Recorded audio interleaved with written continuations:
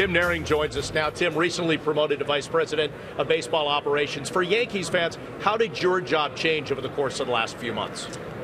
Well, obviously, we lost uh, Billy Eppler. Um, big shoes to fill. Um, I came over to the Yankees about eight years ago. I've basically been in the pro scouting department working for Billy Eppler, and I was basically in charge of going out and seeing National League players, present future values of those those players, and then do a cross checklist of American League potential free agents. Uh, six weeks ago, we were out advancing the Royals. Brian called me up and basically said, I'm going to need somebody close to me on a lot of these decisions that are going to be made. Uh, so my job is still going to be evaluating players, but I'll probably be more with the Yankee Major League Club and then obviously spend more time uh, analyzing our, our own system.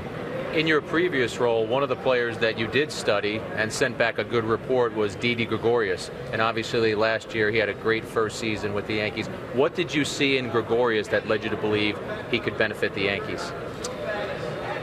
Well, you know, this was going on for multiple years. We always knew there was going to be a day when there was no Derek Jeter and pinstripes. So every rock was being turned over. Uh, had a chance to see Didi Gregorius uh, over a couple years playing for Arizona. Obviously, love the athleticism. Uh, there's some things that he's doing offensively. I think he can, even be better uh, as far as tweaking his approach and his swing.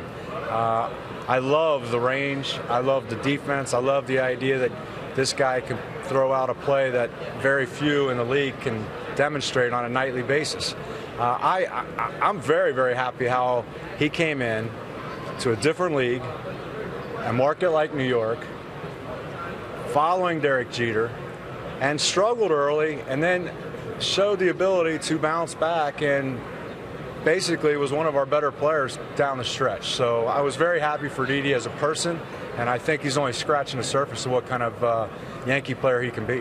When you look at the way that baseball is viewed and analyzed now, there's a lot of emphasis on sabermetrics, on different stats. How much has scouting changed since you started? Oh, it's changed quite a bit. I, I, can remember back when I was a farm director, uh, director of player development. One of the things that would always happen is a player would show up, and the player development, the coaches would say, "What did the scouts see with this guy?" Well, basically, we were looking out the side of the apple all the holes, the worm holes, and everything else, what the player could not do because that's how we set up our development plan to make him better. The scout sees the shiny side of the player, the shiny side of the apple, everything he can do. Why should we sign this player? So now there's not only two sides of the apple anymore, now it's analytics. There's all these different things. We have people that look at a player in a certain way. We have uh, older school scouts that now have to be aware of the analytics and, and, and, the statistical data that is right there for us. And if you ignore it, it's it, it, you got nobody to blame but yourself. It's, it, it, gives us, if we're lucky enough to see a guy play 10% of the season and with our own eyes, uh, that's, a, that's a great long look. There's 90, 90% of, of, of the season that we don't see with our own eyes. Maybe the statistical data will, you know, fill in the, uh, the missing pieces. So, Tim, when a player is drafted into the Yankees system now, I think four or five years ago when people said, well, Yankees just go out and sign free agents, they don't need the young players. If I'm a young player in the system now, how positive am I knowing that I might be fast tracked if I show the ability to play at every level, that I got a better chance to get in the majors than maybe I did in the past? Yeah, there's there's no doubt. I mean, I I think we've all watched how the Yankees have been over the years, and obviously they have the capability. We have the capability to play in the free agent market, which is great.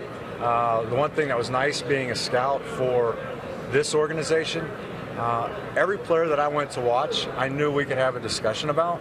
We could possibly acquire this guy somehow, some way. We weren't going to be restricted, if you will, uh, as a minor league player now. And Brian's done a great job of it. He has proven to the organization, you will get a chance here.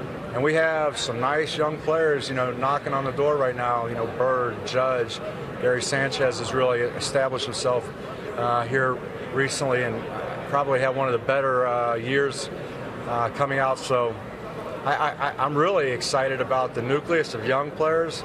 Uh, Severino, what he's done on the mound. Uh, there's there's a, a, bright future here in the short term as far as Yankee in-house kids. You had a very solid career with the Red Sox. What is something that happened to you in your career that you now lean on in your current role? You look back and say, wow, that happened to me as a player. This is helping me now in doing my job. Well, I think the biggest thing, what you want to do is, is try to find. I, I, I happen to be a plate discipline guy. I walked on base, those type of things. So obviously, talking to Stick Michael, Stick's like, you need to find players that were comparable to yourself. See if you can find guys that have strike zone discipline and, and go from there.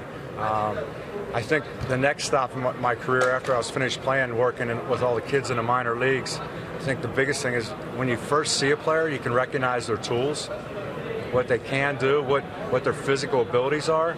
But I think working in player development, the, the biggest thing is players that ha- uh, show the ability to make adjustments.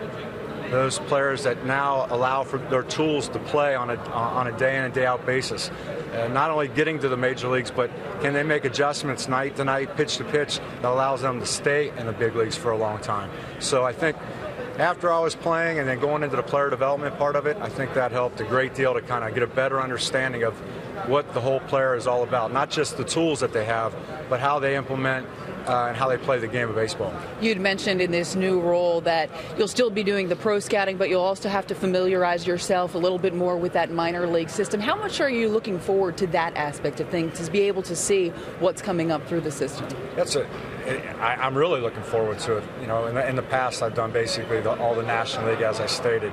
Uh, I would see scouts that had our system, and they would continually bring up exciting players. Mateo, the shortstop, Bird, Judge. They would bring these guys up, and I really hadn't had a chance to see them.